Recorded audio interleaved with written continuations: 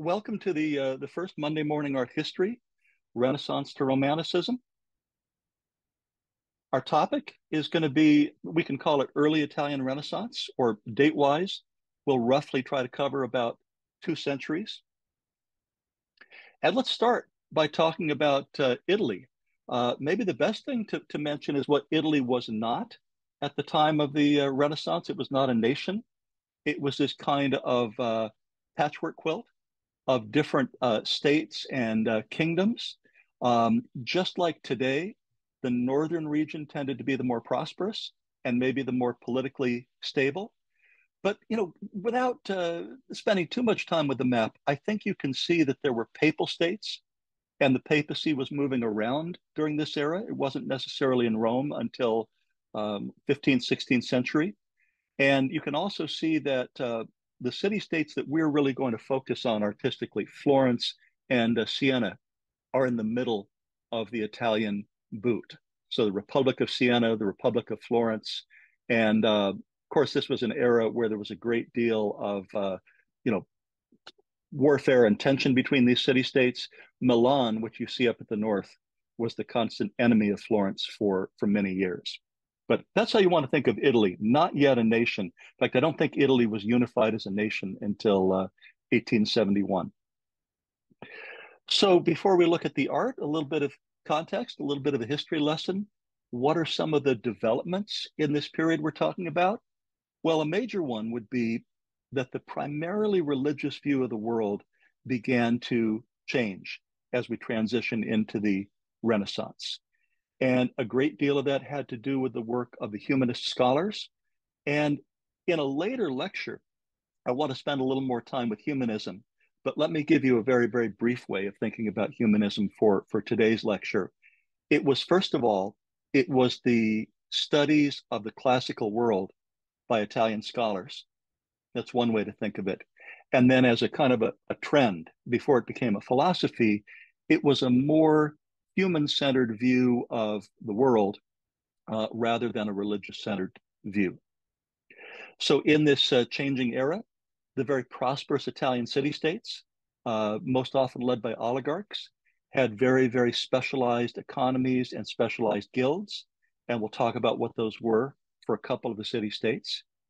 And if you would like a kind of a, a long, slow trend that will take you through this lecture and into the next lecture about Italy, you want to think of art as gradually moving away from medieval styles towards naturalism, towards a, a style that is more like the real world, that's more recognizable. A few other things to mention, some important, you know, social and, and religious organizations. This was a, a deeply religious period, and begging friars, mendicants, uh, men who had renounced the material world, uh, were very, very active throughout Italy, uh, spreading uh, God's word and God's work. The Dominicans and the Franciscans emerged as tremendously important. And we'll see an image of St. Francis in just a moment to, to flesh that out a little bit. And then also confraternities, which were groups that brought together lay people with religious orders, uh, grew tremendously in popularity toward the end of this period. So we mentioned St. Francis. Let's start with our first image of the uh, lecture and, and see how he was portrayed. This is a very, very early altarpiece that's in Pescia, Italy. Uh, it's from the early 13th century. And if you were to talk to an art historian, they would say, well, that is the, the Greek manner. And it's a little confusing to hear that because when I first heard it, I thought, well, Greek manner, it doesn't look like uh, a Greek statue or a Roman statue. But in this case, Greek actually means Byzantine. You've got that use of the gold foil background, like you might have seen in a Byzantine uh, church. And there's this stiff formality of Byzantine art. So if St. Francis looks to you like he is doll like and has a backbone that wouldn't bend even if he tried, that's what we mean by this kind of stiff, formal medieval style. And this one is an altarpiece that's made with tempera on wood. And uh, most altarpieces were, were portable. They could be folded, they had wings, and, and they could be moved. But you'll also find uh, later in this period that fresco becomes very, very important, painting done directly on walls. But the role of a work of art like this in the time it was made was to be, uh, I'm going to call it, it's a little bit like a comic book illustration. It's meant to educate a largely illiterate population about the miracles of saints. And you want to remember that the clergy uh, spoke High Latin during the Mass, and that most uh, most Italians were illiterate and spoke a vulgar version of uh, of Latin, and they spoke early Italian. So if you go over this a little bit, or or you imagine, you know, people were seeing this in a uh, church during the time it was made, it has the role of explaining the miracles, of justifying the miracles of St. Francis. So here is one healing of a girl with a dislocated neck. And you notice a little bit of what I would call continuous narrative. And that means that the girl with the neck problem appears twice. Uh, she appears, you can see her coming by a door or an arched door in, in the uh, on the left, and then kneeling in front of St. Francis to be healed. And there's a very mysterious figure in this. There's like a, a child or an infant that almost appears like it's been dropped in front of St. Francis's uh, altar. And I even wonder if maybe she's carrying that in the uh, back image. It's a little hard to make out. This one is a little bit more clear. In this one, uh, St. Francis is driving out the demons. And you can see the black figure, figure demons that uh, come out of the mouth of one of the awestruck uh, people that is witnessing this uh, miracle. In sculpture, um, one of the great themes, of course, is the Renaissance, is, is the bringing back of uh, classical Greek and Roman imagery and, and you know, style and media. So when you go to the baptistry at Pisa, in other words, the baptistry building that's next to the, the famous Leaning Tower, that people say may fall down at any moment, had to, had to throw that in there. But when you visit and you see this magnificent uh, pulpit, you can see the influence of Roman art, and you also can see uh, some evolution uh, when I get to it. So this is one of the uh, panels carved by Nicola Pisano in the middle of the 13th century. And this is a good point to say something about Italian names. If you want to roughly translate Nicola Pisano, it means Nick from Pisa Now, you know, what we call the surname was often the, the name of where someone uh, came from. But Nick from Pisa uh, carved this relief of the Annunciation, the Nativity, and the Adoration.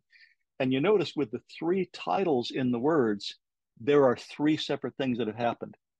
So the Annunciation is the angel tells Mary that she will bear the Christ child. And it's a little hard to make that out because the angel's arm is broken. You can see him there in the upper left. It was a delicate arm that's been lost, but he sort of had his hand up in a gesture of, you know, recognition. Mary somewhat looks towards him, but also the nativity has happened. The child has actually been born, and the Christ child whose head has been broken off, that's worse than losing an arm, is at the bottom of the image there with the baptismal font, with someone pouring what looks like a whiskey jug over that uh, tiny body. But then there's also the adoration of the shepherds and they are crammed into the upper right corner. So you see the problem, one of the problems that artists kept trying to solve is, uh, you know, how do I put three things into one carving? And the answer is you do it pretty awkwardly.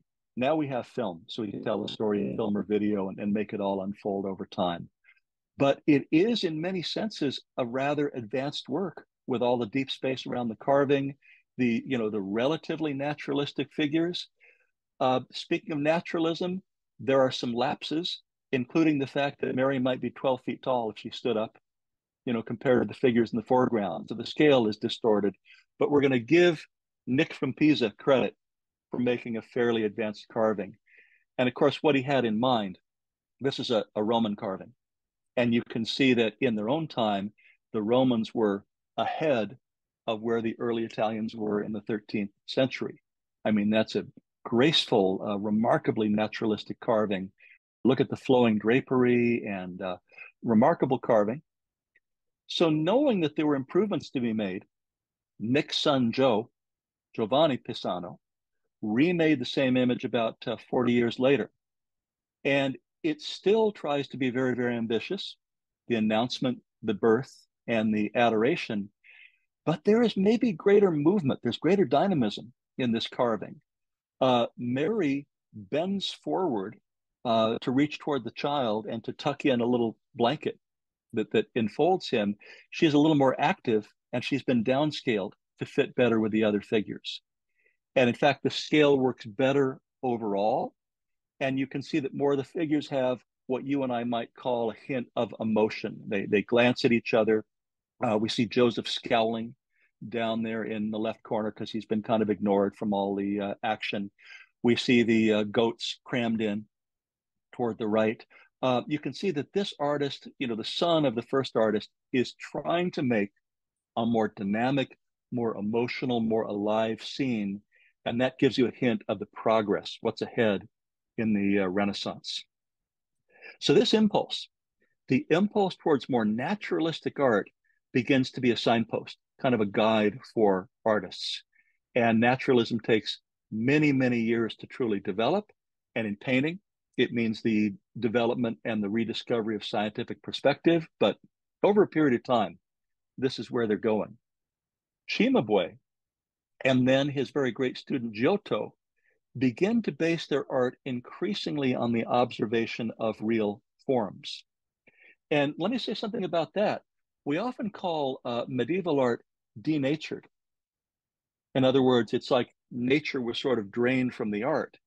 And if you wonder why was denatured art popular or why was it, you know, why was it tolerated? The answer has to be that uh, religious image, religious imagery needed to be symbolic. It needed to tell the story. It didn't need to look like a particular person. But in this period now in the 13th century, there's more looking at the world, there's more observation making its way into art. And we think of Giotto beginning to take what we'll call a scientific uh, approach, stressing the importance of what he saw and gaining knowledge of the real visual world to add to his art. So, starting with Cimabue, I think an art historian would still say, well, I see the, the Greek manner, I see the Byzantine here.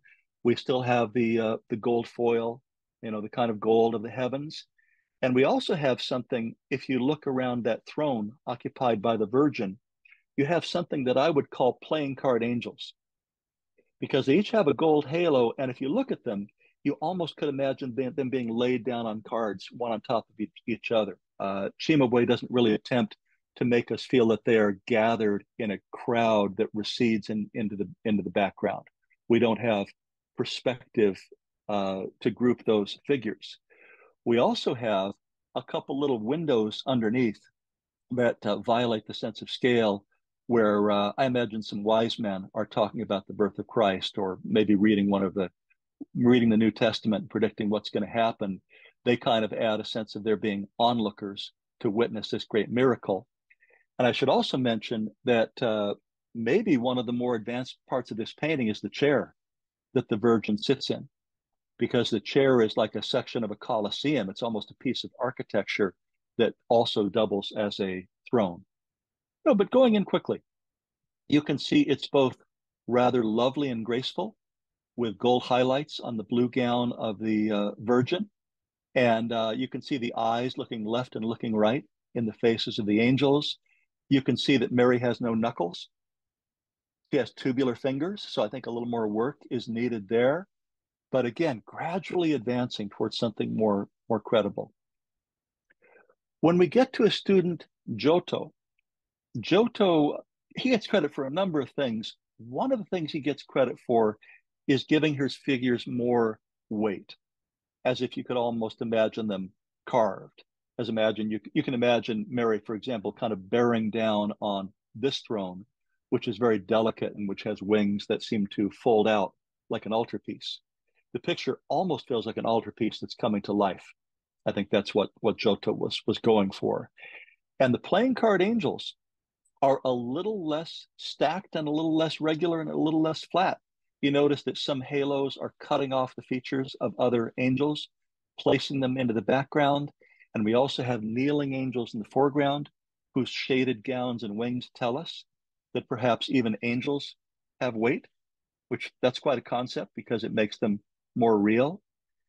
And uh, a detail of that picture, I think you can see what's happening in the shading that follows the jaw of the Virgin. I once had a student say in class, did they have airbrush back then? Well, no, they didn't have airbrush, but uh, maybe using a flat brush like a shaving brush or stippling, uh, Giotto began to achieve this very, very subtle kind of shading that wrapped around the edges of his figures and is a predecessor to what you and I might call chiaroscuro, of clear and dark. And then mixed with that, look at the wonderful rosettes, the designs behind the throne, which tell us we still have something medieval going on. Almost feels like a medieval, you know, scribe had added those uh, those details. One more wonderful detail before we go to the next image. Look at the two fingers just emerging under the arm of the infant Christ to let us know that the mother's supporting him. So Giotto's uh, greatest works tended to be public fresco cycles, and he is very, very well known for this magnificent decoration of the Arena Chapel in Padua.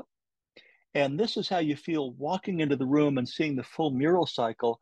But you notice I also I chose a photo that looks toward the ceiling. And in the ceiling, there is a very, very rich and brilliant sky of ultramarine blue, along with portals, or what we, you would call an oculus if it was part of a building, skylights that let heavenly figures look through into this kind of miraculous building. And I want to take a moment and say something about the blue. This will take you back to the Renaissance in a really interesting way. So during the early Renaissance, Mary would wear a blue cloak. And that was, you know, part of religious law and there were actually laws passed to, bat, to ban ordinary people from wearing blue because it was the color of the Virgin. But it was also very, very expensive because blue came all the way from Afghanistan in the form of lapis lazuli.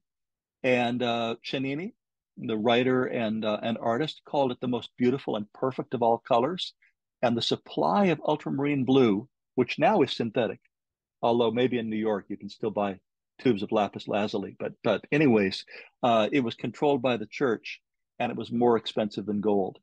So during the early Renaissance, when you walked into that chapel, you were dazzled by the ceiling and the color, because it's likely you had never seen such an expensive expanse of color like that. But back to Giotto, he began to observe and depict light and shade and light begins to have a direction in his work. So, in other words, rather than having Byzantine light, where the light of heaven, that kind of golden light, illuminates everything evenly, Giotto is a bit of a scientist, realizing, well, if it comes from the sun, that has a direction, or if it comes from a window, that has a direction, not, not a divine source. So he used this new uh, bridge toward realism. He used light to put together drama holy lessons and this new element, truthful observation of the world, which is why uh, the panels that he did in Padua have a new kind of emotional impact. And here you can see that uh, in this lamentation, you know, the grief of, of Mary over her son, we see a new kind of human presence. And the body of Christ although draped around the loins, is essentially a kind of a nude, like a classical statue. And if you look at what the figures surrounding the lamentation are doing, one throws his arms back in a kind of grief. Two others stand on one edge with a sort of confidence, having a conversation, because maybe they, they have confidence in the resurrection, so they're not as upset as the other people. Another figure clasps her hands to her face under her cloak to express grief but there's this greater variety of uh, poses and expressions, even a figure whose back is turned to us, who reaches toward the head of uh, Christ.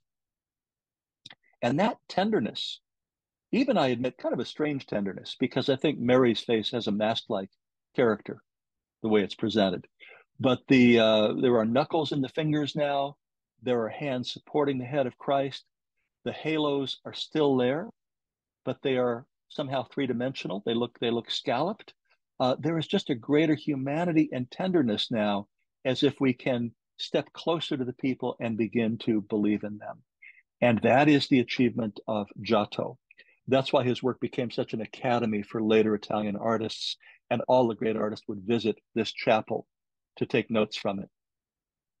And still a ways to go toward naturalism, right? you know, looking at the angels, an almost believable head, but tiny arms, and then wings as if they're glued on in the back.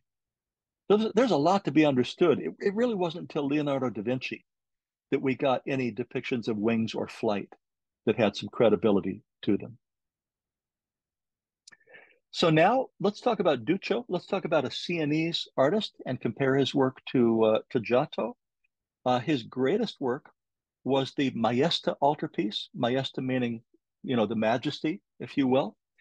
It's a two-sided work which depicts the enthroned Virgin on the front and then contained 26 scenes on the back.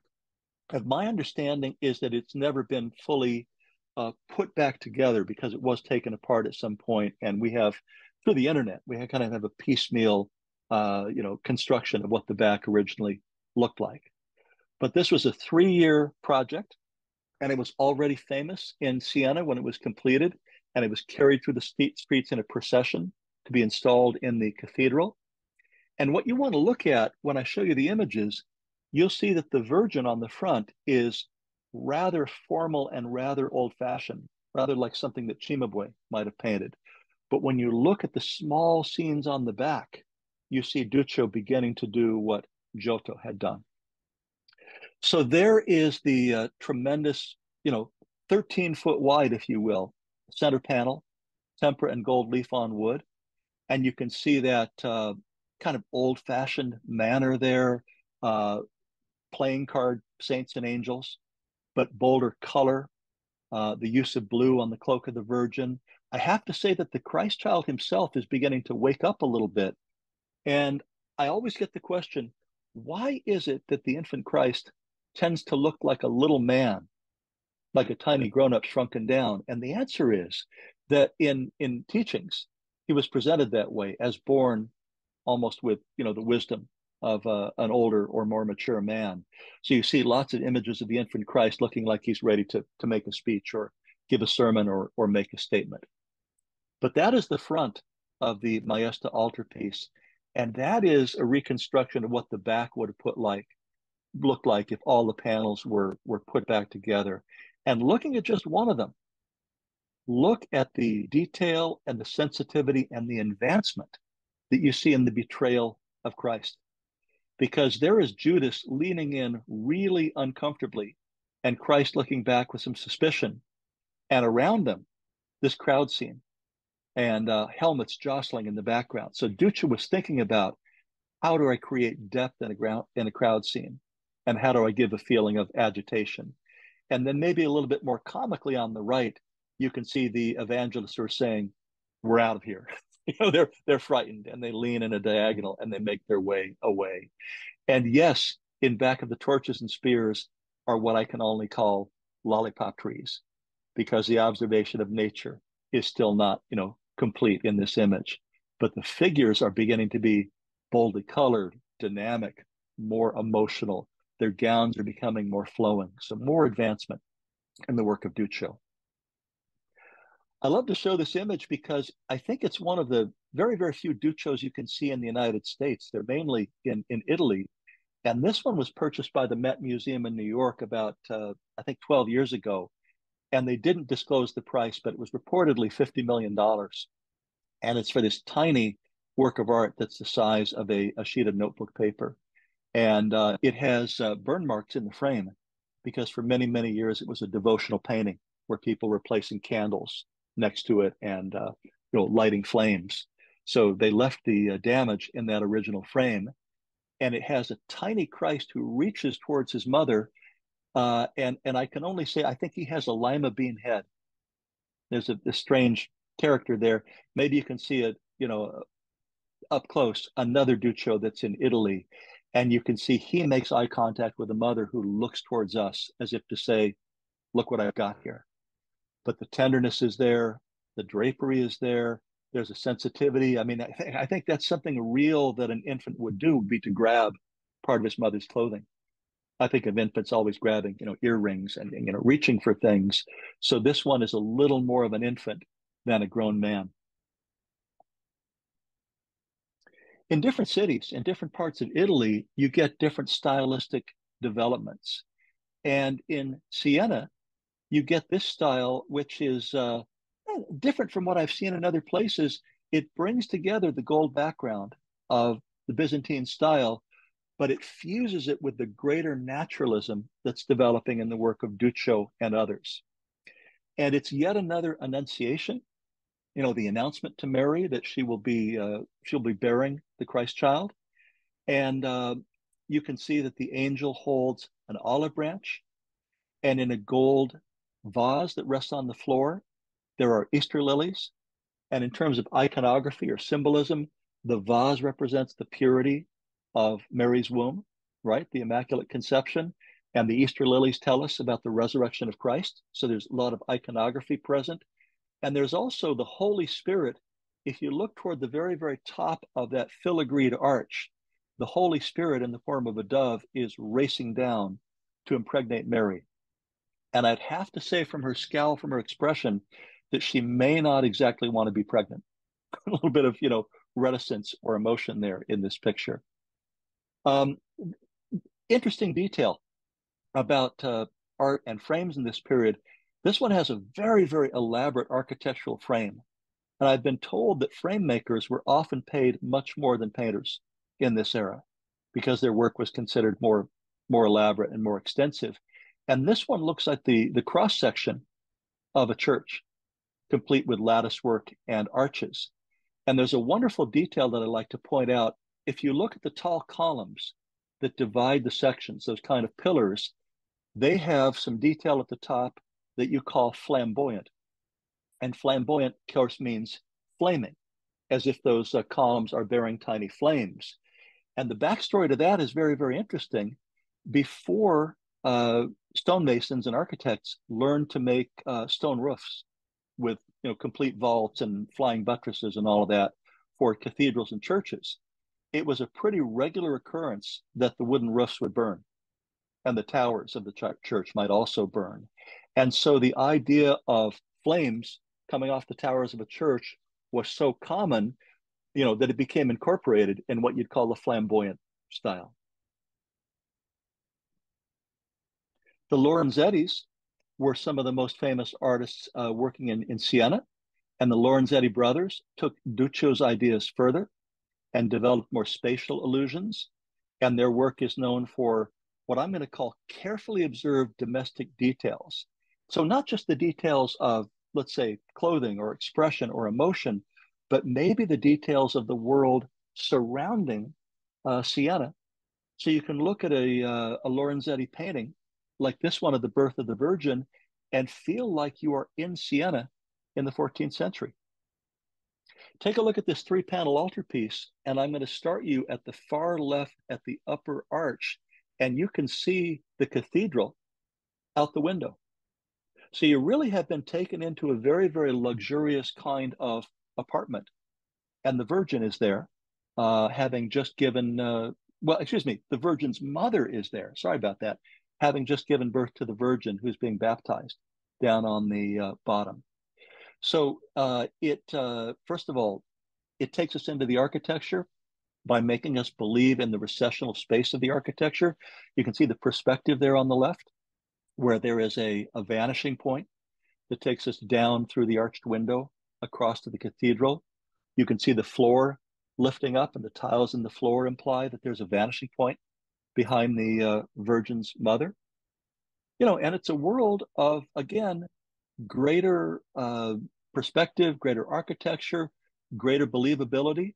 There is that woven cloth she lies on and the uh, gold pillow with the tassels, which probably give us the real details of a Sienese home in this pyramid period. But we also want to remember that the Renaissance is about bringing back the ancient. And so if her pose looks very like the pose we would have seen a woman uh, taking on an Etruscan sarcophagus, which is what you see I, I brought in there. It really does come from that early Italian tradition as well. So there's a lot of there's a lot of uh, hybridity in this image.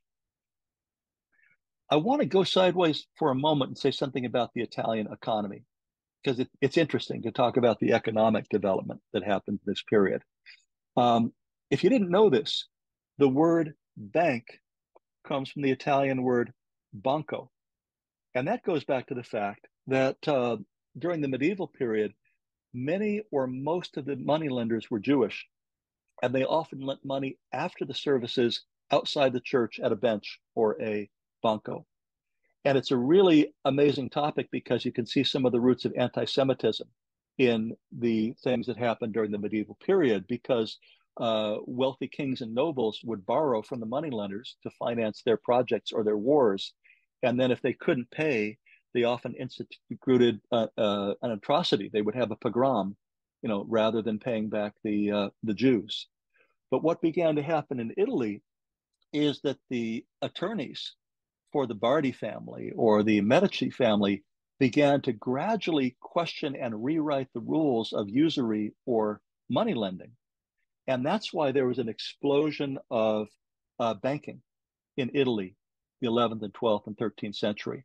So the great early bankers of Europe were Italians. And then by the late 1200, uh, 1200s, the Italian bankers had become the agents of the Pope and the Pope had a great concentration of wealth. Along with this banking economy, the patronage system, where wealthy bankers, wealthy cloth merchants began to pay for uh, religious commissions, that really took off and became very competitive. And the rivalries between the city states, for example, the rivalry between Siena, Siena and Florence, motivated the patrons to put more money into art, art and architecture. And then one more footnote in the 13th century, two of the great Florentine banking uh, families financed a great deal of wool export and gave large sums of money to England and France. And those debts were defaulted on in the middle of the 14th century. So, anyways, interesting to think about the rise of banking. Florence was, of course, a key, maybe the key uh, city state in the rise of the Renaissance. And the Florentines you know, rapidly began to pride themselves on being economically and culturally superior to the other city states. The flourishing of humanism, especially sponsored by the Medici later, uh, began to flourish take off in, in Florence. And over a long period of time, the Florentines built what they felt was the greatest cathedral in Italy, a cathedral that could hold uh, 30,000 people. And what I'm going to do for a moment, I'm going to take a short talking break and I'm going to let a video take over for five minutes. And I'll tell you more about the video uh, when it's over. But this is a conversation from a uh, channel called Smart History, where you're going to hear a dialogue about the construction of Brunelleschi's dome and also see some video that I think will help you understand the architecture. We're in Florence and we're standing outside of the Duomo. The Cathedral of Florence and we're looking up at Brunelleschi's dome. It's huge. Until St. Peter's, it was the highest dome that had ever been raised, and in its width, it was as wide as the Pantheon. Almost. If you think about the Duomo itself, had been planned in the 14th century. The plan was to build a dome that had a span nearly equal to that of the Pantheon. And of course, the Pantheon had been built in the ancient world, and that technology had largely been lost. Right. So first and foremost, what Brunelleschi did did was an amazing engineering achievement. The challenge was how to build a dome this wide without wooden centering. Generally, when you build an archway, and, and the dome is really just an arch in in the round, in the round, you put up a wooden framework. So this is the wood to actually support the dome until it can be locked in place by the keystone. Exactly. So you don't even really need mortar to hold it together because you've got the keystone. The problem is, is this was so big they couldn't actually get enough lumber and lumber that was strong enough to hold the thing up until they could lock it in place. And so there was no way to do wooden scaffolding or centering to hold it up as it was being built. So how do you build this dome that inclines inward and not have it fall down. There's two problems. You've got that issue, and then you've got the problem of it wanting to splay outward. A dome exerts pressure not only down, but down and out. And so, one of the biggest challenges is how to raise the dome and deal with that downward and outward pressure, not cracking the walls underneath. Now, in the Asian world, for the Pantheon, for example, they had dealt with that by just creating sheer bulk. In other words, the walls got to be 10 feet thick. I think actually in the Pantheon there's something like 20 feet thick of concrete. Right? But Brunelleschi couldn't do that here. So, what he's done instead is, first of all, he made the decision to make the, the dome as light as possible, and that means that it's basically hollow. It's a double shell.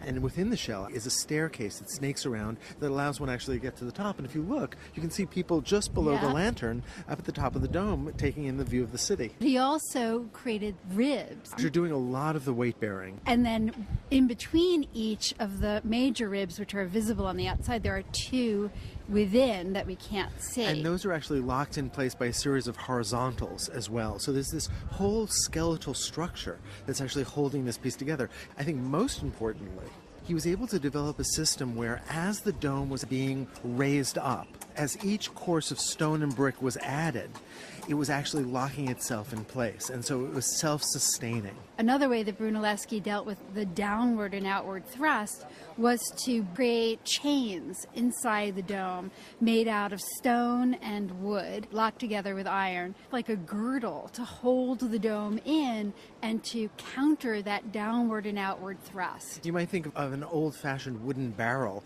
that has a couple of iron rings around it to help keep the wood together. Brunelleschi created cantilevered scaffolding that could rise as the building went up. And so the workmen had a place to work. Brunelleschi also built new kinds of pulleys and hoists to bring up these heavy, massive pieces of stone to the top of the dome. So he created this ox hoist. There's just these remarkable machines that no one had ever seen before. He actually even designed a special barge to go down the Arno to be able to bring the materials to the city itself. Yeah. If you think about the sheer quantity of material that had to be imported and had to be hoisted up and had to be put in place, right. it is just this remarkable bricks, project. Bricks that had to be created, stone that had to be quarried and brought here, platforms for the workmen to work on, machines to hoist everything. And I think it was Alberti who said something like, "What Brunelleschi did, we did without, without precedent, pre- without having any example to lean on." Uh, utter invention. Exactly. Now, we think that Brunelleschi may have gone to Rome and may have studied ancient architecture as well as sculpture there, but there is no precedent in the ancient world even for what Brunelleschi accomplished here. No, it's important to say that the dome is not hemispherical like the dome on the Pantheon. It's actually kind of tall. Right, it's kind of pointed. In a way, it has more of a Gothic shape than a classical shape, but in that way, it matches the Gothic church itself.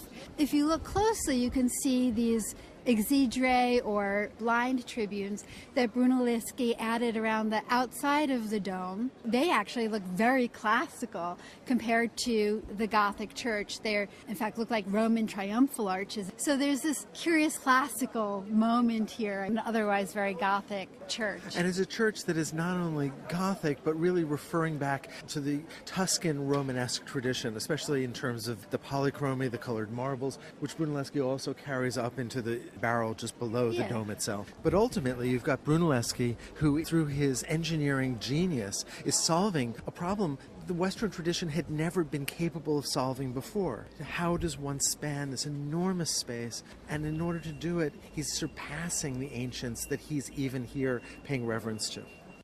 Well, that's a lot of information, but uh, you know, I know Martha spent a lot of time in Europe. I bet she and, and many of you have walked that staircase between the two shells of the uh, dome. But one thing that watching that video should should put in your mind is just how ambitious and how driven uh, the people of 14th century, 13th, 14th, 15th century Italy were to you know take on projects that uh, borrowed from classical art and architecture, but took it even further.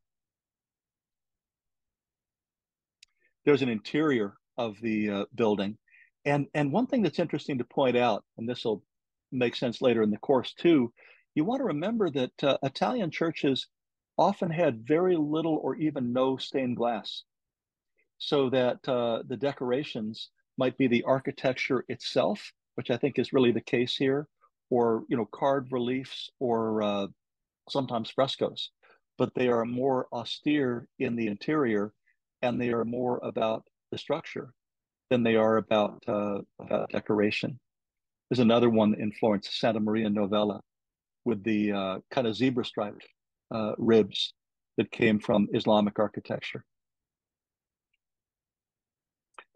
So I have to I have to wind this presentation down a little bit. Let me give you a few more images and uh, kind of an ending to uh, give us pause and, and to think about what might be coming next. So there was a great deal of architecture begun in this period. So the, the west facade, the face of uh, Orvieto Cathedral, was begun in 1310, but it wasn't until what 1499 that Signorelli came along and made these uh, incredible uh, murals of the damned in hell that inspired Michelangelo not much uh, later. So you want to think of these uh, projects that begin in the, the, 13th century as just the beginnings of uh, things that will really flower and blossom in the uh, the High Renaissance.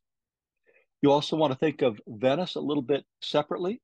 the Venice had a Doge, and the Doge did not report to the uh, the Pope.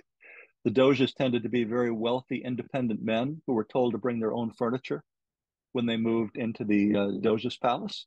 Very separate. Venice had a separate sense of itself. In Siena, look at this magnificent Palazzo Pubblico, where thousands of people could uh, gather when the bell rang and could hear a talk from their officials. And along with all of this great building and public energy and patronage and wealth. Uh, you got art that uh, I'm going to call some of the first great propaganda art. These incredible murals by the Lorenzetti brothers. This one, Peaceful City, is from a suite of murals that are still there in the Palazzo Pubblico in Siena. They're about the effects of good government, something I know we're all really craving right now. And you can see the idealized graceful figures and the merchants who make their way through and into the city. And you can get a pretty good view of what siena might have looked like. And uh, florence and siena both had many of these observation towers. Uh, there's still a few left where you could maybe see you know enemy coming toward these great walled cities.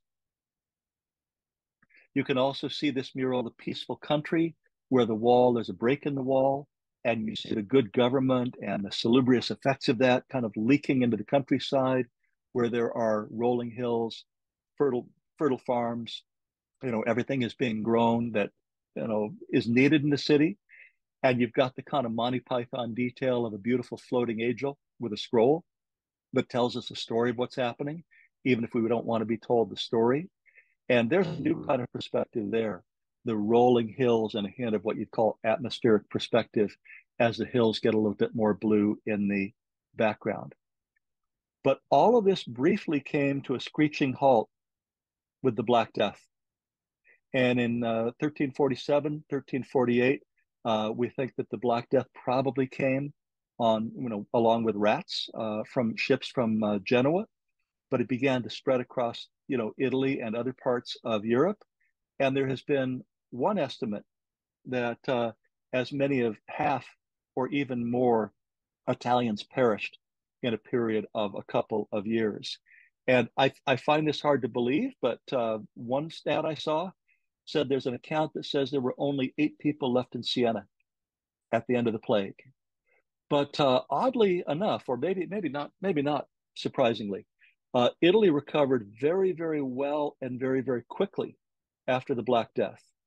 And as someone once explained to me, you know, we talk about real estate prices here in California. If half the population was gone, you could really get a great deal on a condo. You know, it's a glib way to say it, but there actually was, uh, you know, a real economic boom after the Black Death. So just to let you know, before we, we take a few questions, I'll let you know what's next. We're going to move to Northern Europe when I see you on uh, February the 5th. I also want to uh, credit Smart History, which provided the video that I showed you.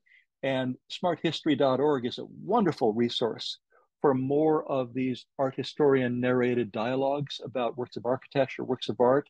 A lot of pleasure in watching those. And of course, there's a great deal more material about the Renaissance. Want to let you know that every month, a month after Martha uh, creates the webinars, I'll post them on my YouTube channel. And if you missed Monday Morning Modernism, it's there on my uh, YouTube.